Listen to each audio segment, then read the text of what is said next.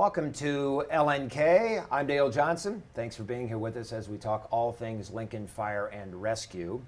Every month we take you into the world of Lincoln Fire and Rescue. Our subject specific conversation today is about handling strokes, and we'll get to that in just a moment. That's coming up on LFR on LNK. After we give some huge props to emergency medical services, May 15th through the 23rd is National EMS Week. You might be watching us a week before, a week during, or a week after. The month of May, think of that as Emergency Medical Services uh, Week or month. But think of every opportunity that you have to uh, give props to someone who is in the emergency medical field because they work quickly, they work efficiently, and they have to deal with many diverse responsibilities, everything from accidents to crashes to emergencies. Now, for me, my thoughts about emergency crews, paramedics, and EMTs turns to uh, March, the first day of spring in 2016. A motorcycle crash at 27th and Stockwell. Uh, Station 8 responded, Station 4 responded. So the crews at 17th and Van Dorn and the crews from 27th and Old Cheney responded. They got there, they acted quickly, tourniquet on my leg. And I learned later that because of the speed and the efficiency of the EMTs and the paramedics, that I was three minutes from bleeding out. Now think of that, three minutes. That is about the amount of time that it takes when you pull up to a gas pump, get out and fill your vehicle, put the hose back at the pump, get in and drive off. That's about three minutes. That's how long I had, had it not been for the fast action of the EMT. So I'm, I'm, a, I'm a very fond guy of emergency uh, crews here in Lincoln, Nebraska forever grateful, by the way. So, now, the subject of strokes. Every 40 seconds, someone in this country has a stroke. Every three and a half minutes, someone dies of a stroke. Every year, more than 795,000 people in this country have a stroke. That is almost three times the population of Lincoln. Stroke protocol is included in LFR's 90 page paramedic treatment protocol. We'll go through all 90 pages today.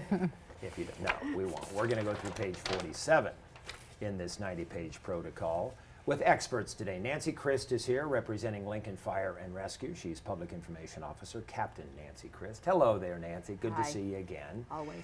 And our special guest on the program is Hannah Belden. Hannah is Stroke Program Coordinator at CHI St. Elizabeth. Hannah, welcome in. Thanks for having me. All right, let's start with the description of a stroke. Sure. Do they all look the same? They do not, um, but they all are causing the same problem. So there's a disruption to the blood supply to the brain. And there's basically two main reasons that you have a disruption in that blood supply to the brain.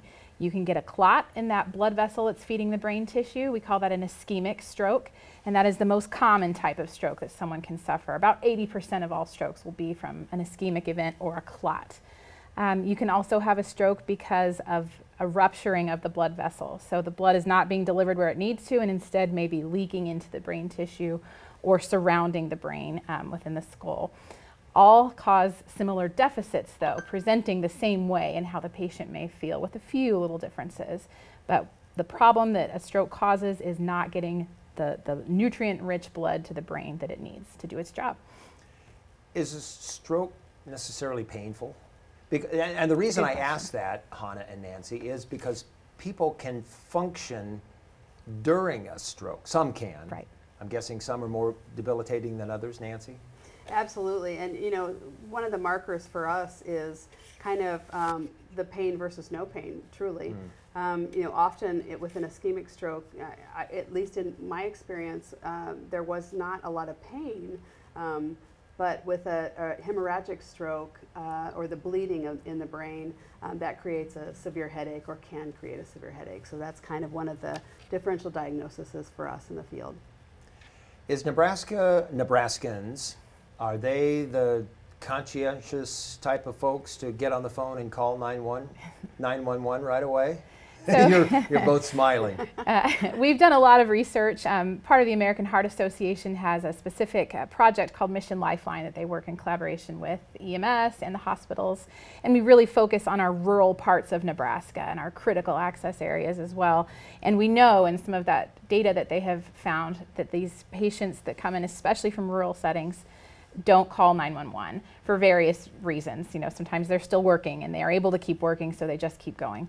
Sometimes they'll go home and take a nap and hope when they wake up it will resolve. And then oftentimes they will drive themselves. I don't feel like they want to burden um, our EMS partners. Nancy, we've talked about how minutes count for all medical calls, not just for strokes. So if a call is delayed or help is delayed, what either time frame or what happens the longer it takes to get medical attention? Uh, I mean, time is brain. Right. And um, the sooner that it's recognized and the sooner that they call 911, let us get there, let us begin that patient care. We can, we can do some of the um, evaluations right there in their home and get the ball rolling, alert the hospitals, both um, St. Elizabeth and Bryan uh, Group.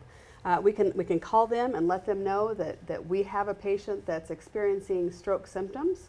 Um, and they'll be waiting for us when we walk through the door. They literally will be standing there waiting for us, and then the patient goes directly back to the CT scanner. All right, take us to the field. The, the EMTs, the paramedics, they're knocking at the door, the call for service is made. Where do you start? Well, just as any assessment starts, we begin an evaluation and assessment on the patient. We begin talking to the patient. We talk to the family members. We do assessments. There are a lot of things that mimic a stroke. For instance, uh, low blood sugar, or maybe even heat exhaustion. We're moving into the summer months. Um, drug overdose. There are a lot of things that are that are that are mimics to a, a stroke. So we will do evaluations to rule some of those things out. Um, for instance, we'll check for a blood glucose, um, and and we'll check for those different things, and then we'll do a Cincinnati stroke scale right there in the field, and we're able to then determine, okay, this is the route we're going. And for us, you know, we call it, you know, we go ahead and, and make it a stroke alert, and then get them into the hospital as quickly as possible, and then these guys take over and you know, sometimes it, it happens that it doesn't end up being a stroke, but that's okay. We're always going to err on the side of caution for the patient every time. So if it looks like a stroke, walks like a stroke, we're gonna we're gonna make it a stroke alert. Circle back, the Cincinnati, what? Cincinnati Stroke Scale, and Tell I'll, I'll let I'll let um, Hannah take over because I know that she really wants to talk about that FAST program for our, our viewers. Right. So the Cincinnati scale that she's referring to has been around for a long time um, with pre-hospital uh, evaluations, but we really have pushed to have our community know the same thing, which is FAST. It's the it's the mnemonic that we use for people to keep in the forefront of their of their minds. And most people do uh, think of those symptoms with a stroke. So face can be a facial weakness, or we might see a facial drooping. Sometimes you only catch it because maybe a loved one's coffee is dribbling out of one side of their mouth. It can be subtle to extreme. Um, the A stands for arms or asymmetry. We use both of those terms, but you can see a weakness of one, one limb um, or both limbs. But we use the A for arms to help with that or an asymmetry. Uh, S for fast, we use for speech. We have slurring of speech a lot with some of these bigger strokes that we see. And then we've kind of modified the T a little bit um, to fast. Time is what it's for uh, in the mnemonic that American Heart puts out. We also say think about thunderclap headaches. So these are headaches unfamiliar to the patient, sudden onset and extreme and different than anything they've experienced because as Nancy mentioned that can be a, a hallmark sign of a hemorrhagic stroke. It's easy to do. All you have to do, there it is, right there. You can you can scroll up F A C F A fast, right there. Yep. It's easy to find. Stroke.org Yeah, it's a is the great- place to go to great find resource, that. yep. All right, now the EMTs, the paramedics in the field have determined that it's a stroke, Mm-hmm. and it looks like a stroke and it's walking like a stroke. They call it a stroke. They you you cart the patient into the unit Yep. and what happens en route. Why is it so important? And the reason we bring this up so often, Nancy, is that LFR does things that not all emergency mm-hmm. systems do as a little bit more insurance to save the life of the patient. So go Yep. second by second as you're going from the site of the call to the hospital. So it, this, as soon as we recognize that it's a stroke alert patient, and that may be recognized by our engine company that's there first. You know, those engine companies get there between three and four minutes. So they may recognize immediately that it's a stroke alert. They may call the medic on the medic unit and say, hey, we've got a stroke alert. So they're already thinking, okay, we've got to move. Um, so as soon as we get there, determine that it's a stroke, we start um, making the phone call to the hospital. Um, you know, the hospital wants to know time of onset. They want to know what their symptoms are. They want to know if they have a physician here in Lincoln. Um, and they, they want to know what their blood glucose is because, again, that's one of those mimic um, pieces. Um, and then the stroke scale test. They want to know what findings we are seeing in the field that we're making it a, a stroke alert patient. And then we, we load them up right away and we do everything we can in route. Like the, the IV is started in route. Um, of course, you know, we're, we're usually putting on them on O2 depending on their o, O2 saturation. We also cardiac, you know, put the cardiac monitor on. We always monitor patients um, that, that have symptoms of stroke with a cardiac monitor. And so um, we alert them that we're on our way, and then they bring a team right to what is called a stroke stop. Um, it's right there in the emergency department, and then they take the patient directly back to the CT scan. They do an evaluation. I think the, the neurologist is usually there along with their team, and they take the patient right back. All right, it's handed off to you. On how does what they've done in the field help you at your end? Yeah. Um, the EMS piece to stroke care is we call it the linchpin. It's it's critical. It's a critical component. She mentioned, you know, not just letting us know they're coming because that allows us to get all of those team members in place and ready to act quickly. Um, but they do things like start an IV. Um, there's there's not a whole lot of treatment options out there for a stroke once it's happened. Uh, really, the fight needs to be on the front end of preventing strokes. We know about 80% of strokes are preventable. But once they've suffered a stroke event and they're coming in, we have a drug that we can give if it's a, a stroke that's been caused from a clot in those vessels. We call it a clot busting drug, um, but it's we need an IV to give it. So that's more time on our end if we have to stop and do that IV versus if EMS brings them in and they've had an opportunity to do that for us, it's less time for that patient. Uh, 1.9 million brain cells are lost a minute during a stroke. So it literally is very time sensitive, very time critical.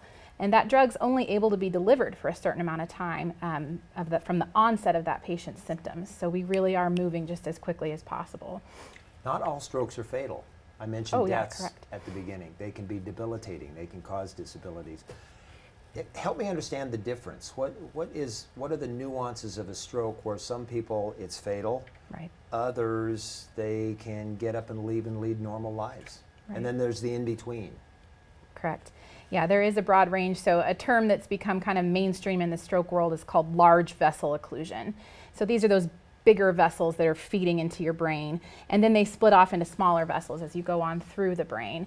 Um, so, with those larger vessels, there's also services that hospitals can provide called thrombectomies, where they actually go in with a wire and pull those clots out of the brain. But obviously, a bigger vessel that's blocked like that is going to be a more devastating stroke, and that's typically where you see those face, arm, and speech um, deficits in a patient. There can be some more subtle deficits. At St. Elizabeth's, we use um, BE FAST for our stroke recognition. And so the B and the E, in addition to what we just talked about in FAST, stands for balance issues or vision changes. And that's helping us catch some of those more posterior strokes um, that we don't always think about with just the face, arm, and the speech. But those can be just as disabling for a patient. You, you know, if you can imagine your vision being altered or losing part of a hemisphere of your vision for life, that's a debilitating, you know, um, uh, result of your stroke. Um, but they're not all going to be a, a fatality event, though it is the fifth leading cause of death uh, in the nation. It is a leader for disability. And so when you think about disability and, and the strain that is on healthcare, on that family, um, to have a disability for life, if we can prevent or reverse that potential, that's our goal. My mother had a stroke at 39 Yeah, yeah. back in 1976. She passed away at 82. Wow, yeah, So all strokes that's right. I- there are stages of them, and you, you can you can survive, you can walk away and not be affected, or you, as in the case of my mother, lost her speech. Yep. True or how true is it that if the stroke is on the left side of the brain, it impacts the right side of the body? Is that true? Yeah, that's that's um, as a general rule, that's that's true. There's of course some nuances to different vessels that may be occluded, but yes, typically if you have a, a left-sided injury to your brain, you'll see that manifest on the right side of the face and the arms and even the legs. Is a person that has a stroke more susceptible to a second one? Yes, 25% of strokes are recurrent strokes. So we really, uh, like I think I mentioned, the modifiable risk factors. So, you know, there's some things you can't change your age, you can't change your ethnicity, you can't change, you know, some of those things. Those are non-modifiable risk factors. But things like obesity, um, high blood pressure, high cholesterol. We can modify those. We can work on those things. And so we really want patients to see their providers. You know, coming out of this pandemic, we know people haven't been seeing their physicians like they maybe used to. Um, we want people to get a grip on those modifiable risk factors so where we don't even have to call a LFR for one of these mm-hmm. events if we can if we can prevent it. But I think that number 80% is is pretty staggering that that's preventable for stroke. Are there tests that can give markers or indicators of a person being more susceptible to a stroke? Yeah. So just those risk factors, you know, that we mentioned are a few of them. Obesity is, is a, a causative factor. Um, diabetes, hypertension, um, high cholesterol, all of those things certainly can contribute. When per, a person would have a stroke, um, Nancy mentioned they put them on a cardiac monitor when they come into the hospital. There are some cardiac rhythms that you can have that make you more likely to throw a clot. Um, most strokes that are ischemic or a clot in the brain are from a cardioembolic source, something from your heart that's showering off a clot. Um, so yes, having those regular EKGs and tests with your physician can certainly kind of give you some predisposing risk factors for stroke. But just call, right? That could just be our takeaway message. Just Fast. call. I think that's the. I think that's really the, the bottom line. You know, um, just call 911. Even because the thing is, we're going to come out there. We're going to do an evaluation, and if we are, if our findings are, are that that don't meet the criteria, you know, we're gonna we're gonna tell you that. Um, we're, we're, probably going to recommend that you go to the hospital mm-hmm. for whatever medical issue is happening, but just call us. We can do a lot of things and, and help with that decision making process. Absolutely. Just, just introduce it to yourself by going to stroke.org. There you go. It's that easy F A S T, and you can learn the signs of a possible stroke. Um, Hannah, thank you very, very much Thank for you for having in. me. And Nancy? And, and I want to throw in that, uh, sorry, I, I, didn't mean to interrupt, but I want to throw in that uh, April, or May is also Stroke Awareness Month. That's right. So while EMS Week is, is kind of mid-May, mid-May, mm-hmm. the entire month is uh, Stroke Awareness Month. So um, it's really when you'll see kind of an increase in that awareness piece. Um, so hopefully um, with this and all the other education pieces that'll happen during the month, um, we can increase that um, awareness. Before we run out of time here on LFR and on LNK, we want to give some props. Uh, awards were recently handed out. They were. To men and women of Lincoln Fire and Rescue. And uh, Captain Scott Weeb is the 2021 Doug Wells Memorial Firefighter of the Year. We've had Doug on the show, I believe, in March he was here with Dr. Jason Kruger. Uh, Scott was. Scott yep. was. Yeah, yes, Scott Weeb. Scott yep. was here. Scott yep. Weeb. Yep. And uh, Scott named the Lincoln Fire and Rescue 2021 Firefighter of the Year. Also want to give props to Captain Sean Mahler, mm-hmm.